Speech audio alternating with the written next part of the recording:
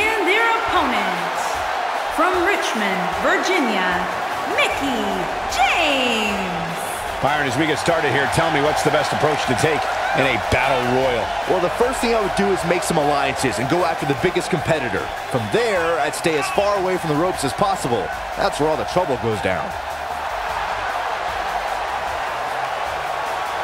She clearly looks to be in great shape, but Corey, is she mentally prepared for this match here tonight? Well, she better be, because if she's not, I can get...